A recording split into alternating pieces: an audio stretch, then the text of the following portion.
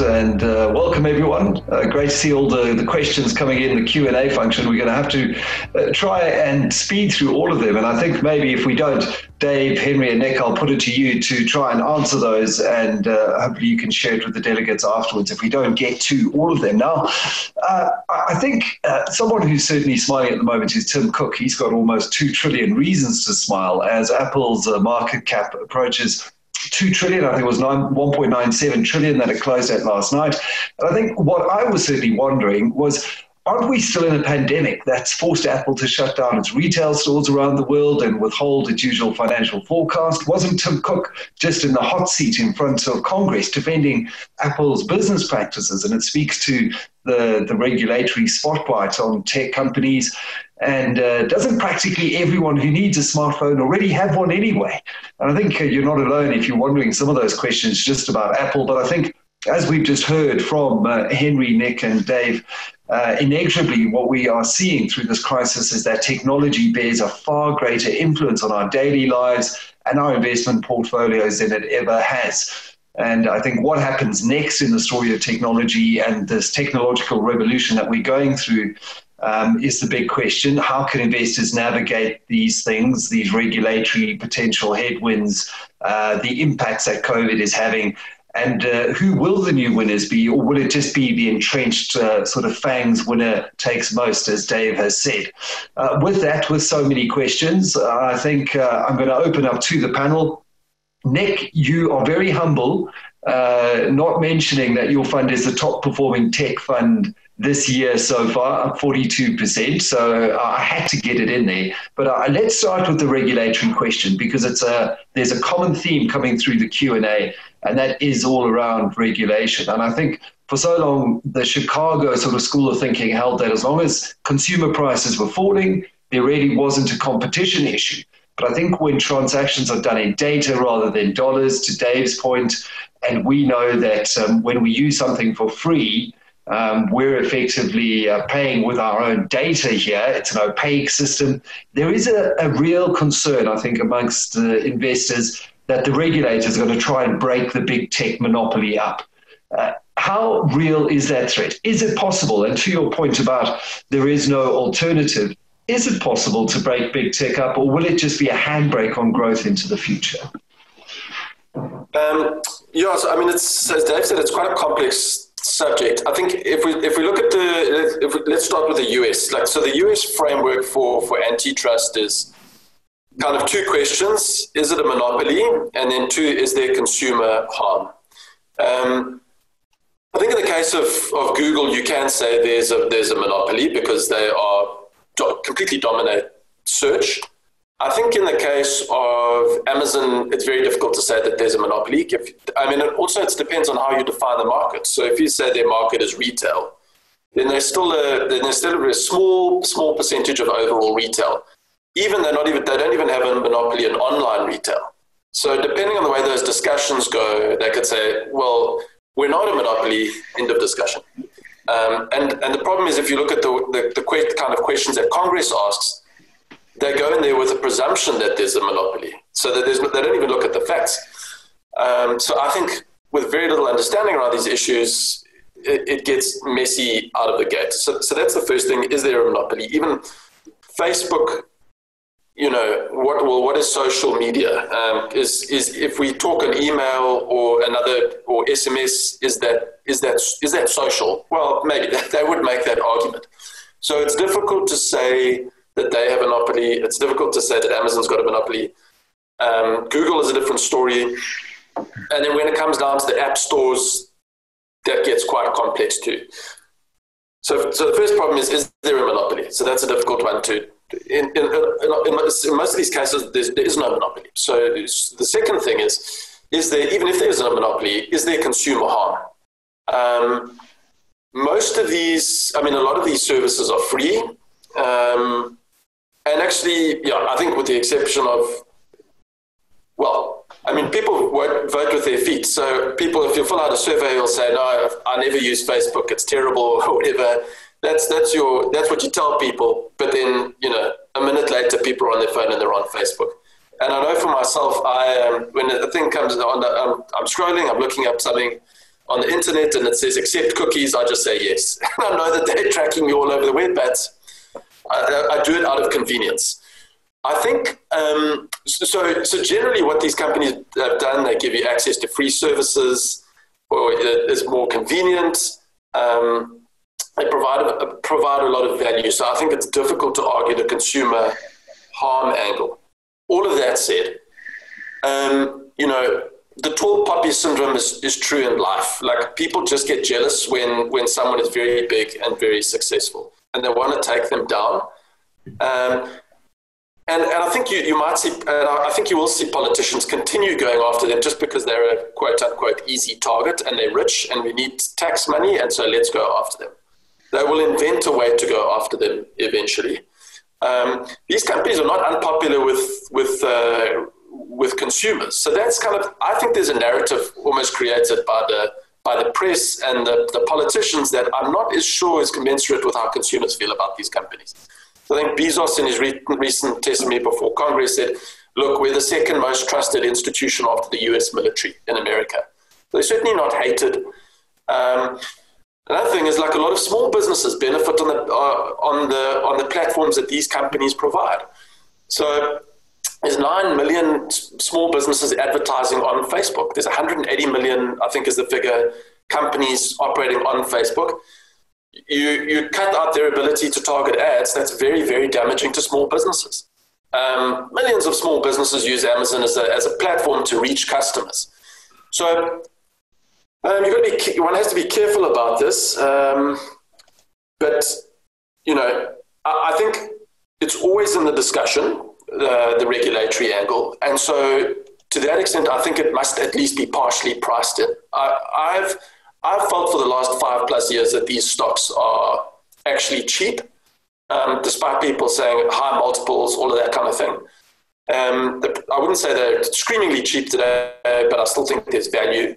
And I think part of that is that this sort of regulatory fear um, is embedded to some extent, some probability of it.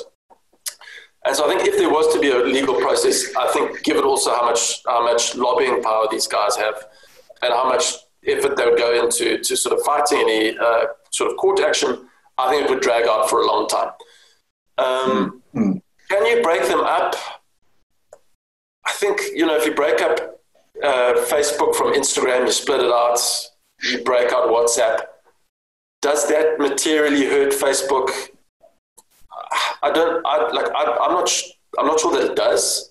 Um, what it might do is actually crystallize some some value. Like as investors, and we can see what those different parts are worth, and we can assign maybe a higher multiple to the faster growing part of the business. Um, so I don't think this is a I don't think this is a scenario that we're going to see at least within the next I would say three to five years. Um, but look, the other thing to do is I say to people, all means you can hold these, but there's a world of other other tech stocks that you can invest in. So in the Anchor Global Equity Fund, we've done really well this year out of Etsy, which is like a is like an Amazon but for craft kind of small handmade items. So it's like an anti-Amazon mm-hmm. to, the, to an extent. Sea in Southeast Asia, like so Etsy and Sea are both up like 200% this year. Sea is e-commerce and gaming in Southeast Asia.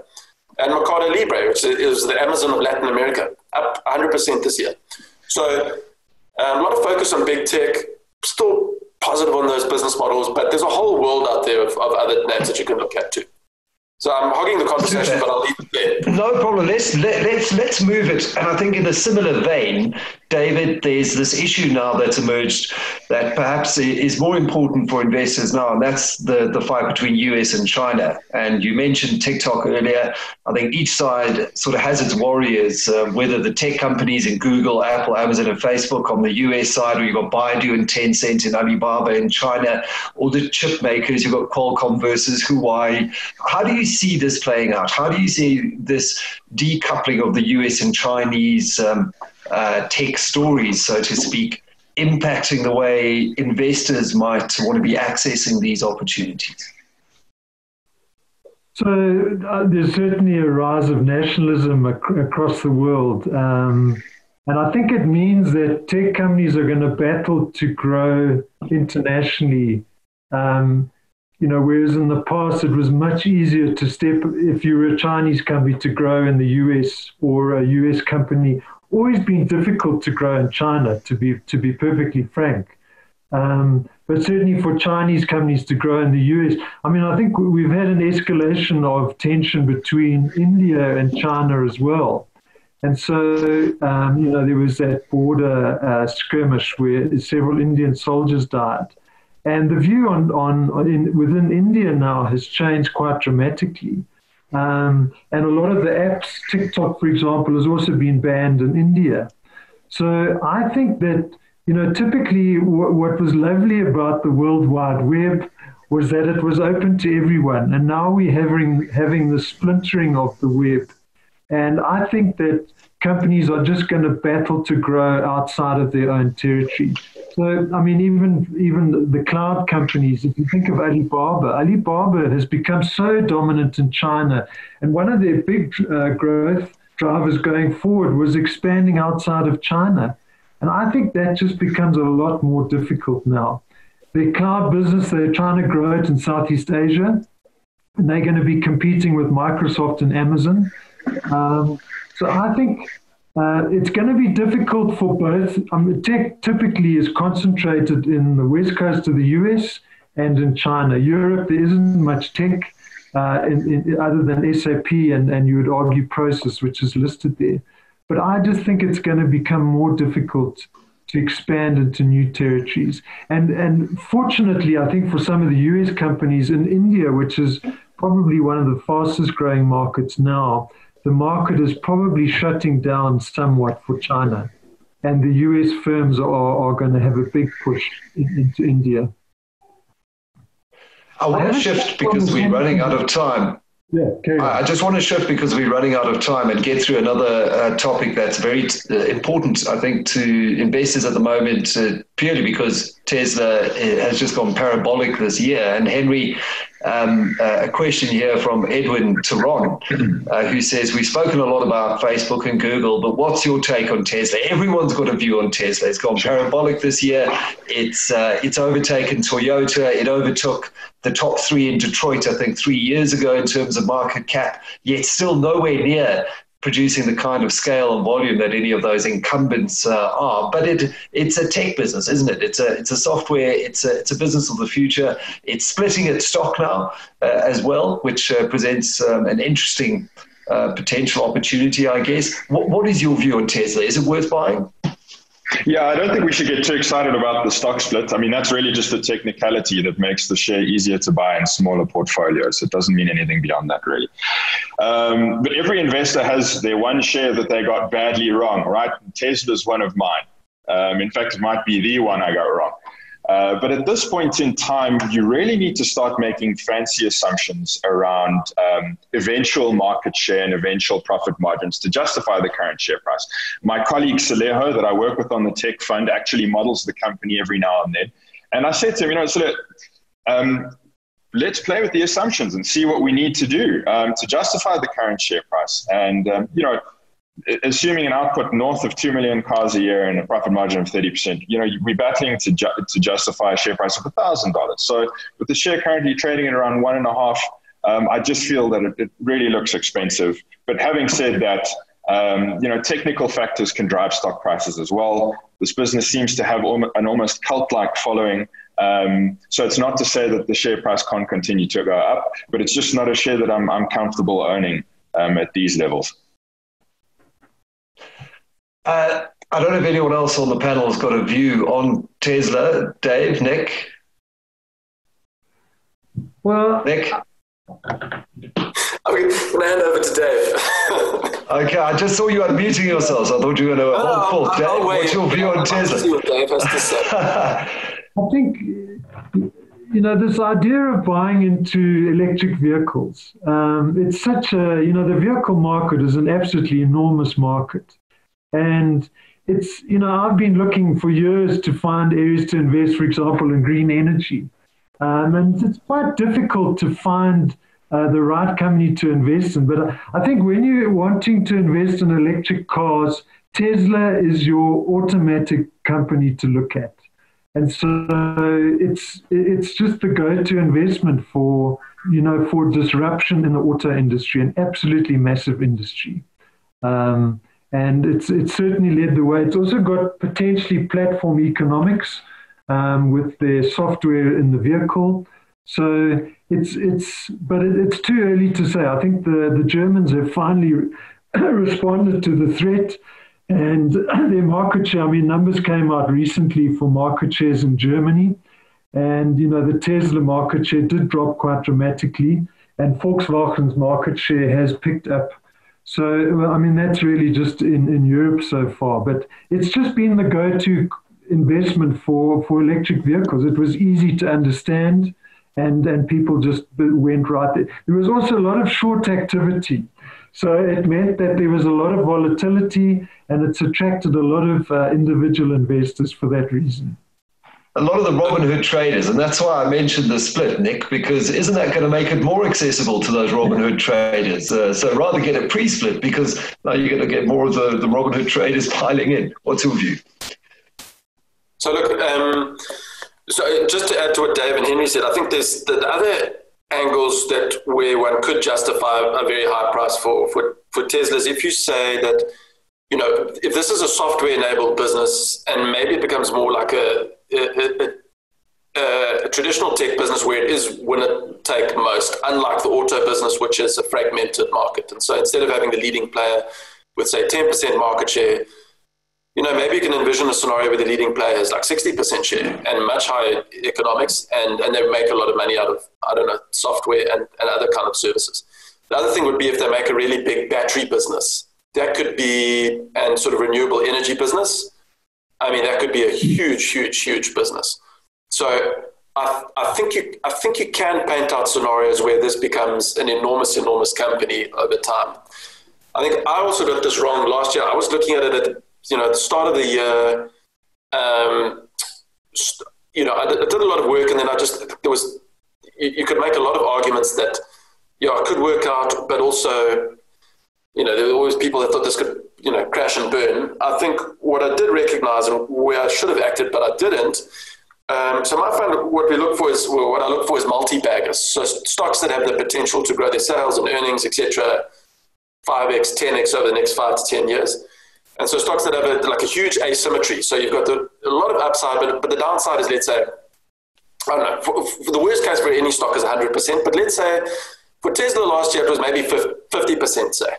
And because if that stock went down, someone was going to buy them out, like a Google or an Apple, or someone was going to take them out.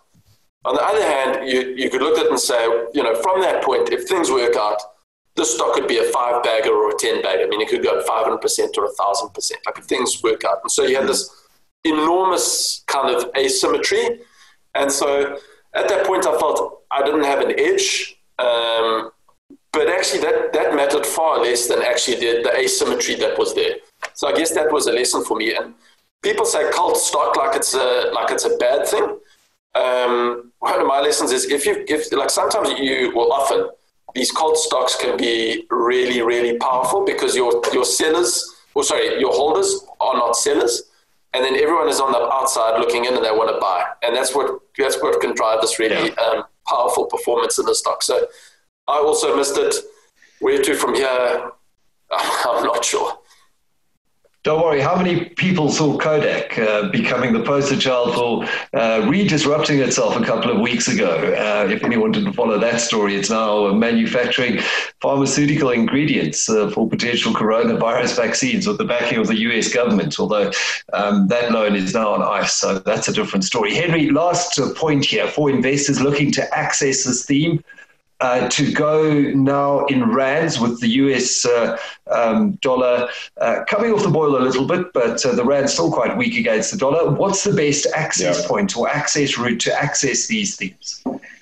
So, Mike, I think first of all, investors often make big mistakes by worrying about short term currency movements. Um, at the end of the day, asset allocation is far more important than the near term rate that you take your money out at.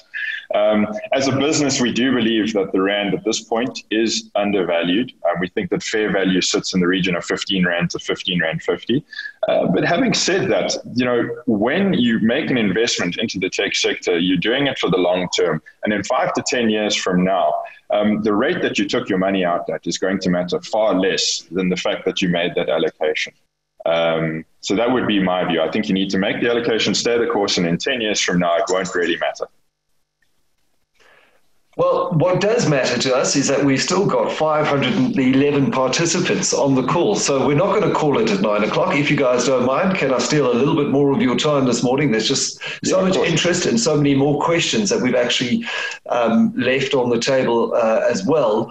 Um, there's uh, another question here about where the next Amazon, Apple, Microsoft, is likely to come from? Is it is it going to be that we're going to have three guys in a garage again disrupting these tech players? Because what we do tend to find, and I think from from David's table of you know who were the top players and, and Oracle slipping down, that you do see decade shifts driven by big technologies. And I think one of the big technologies we're seeing at the moment are a convergence of technologies. You've got artificial intelligence, you've got the the, the cloud um, computing power that's bringing that into the hands of, uh, or democratizing that in, in the hands of smaller players. Now, uh, David, perhaps you can just touch on where you potentially see the next big tech disruptors coming from.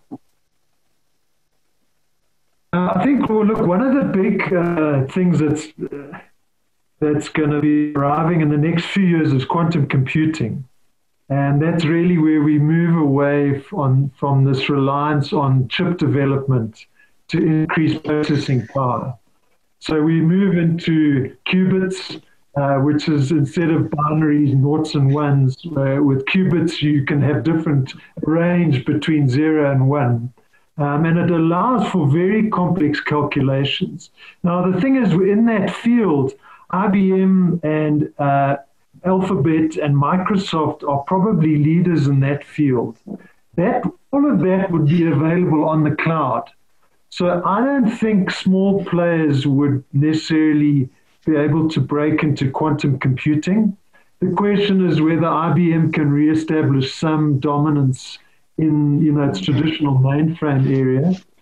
Um, the other areas like uh, neural networks, where we try and have a, a link between what's going on in the brain and, and IT systems.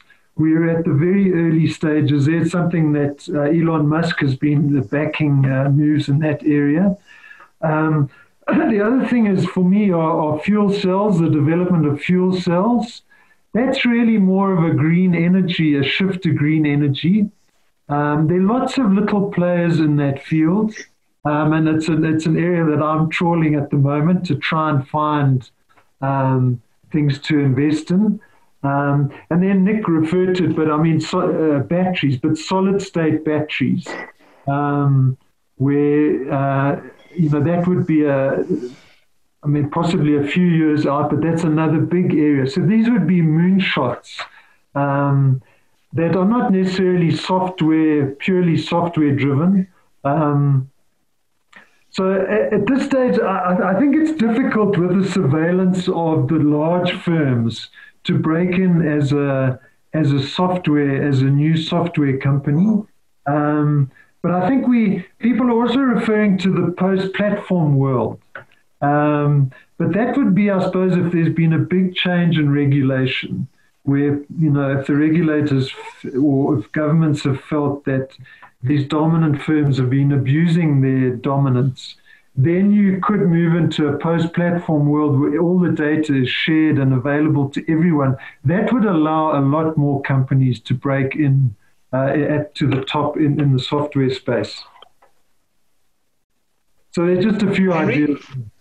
Absolutely, Henry. I don't know if you've got a, a, a thought on, uh, you know, where where the next big multi-bagger is uh, potentially going to come from. You know, Mike, I, I, think the point I want to make um, is that the investment universe out there in the tech space is so broad. You know, we've got a watch list that we trawl through for new investment ideas.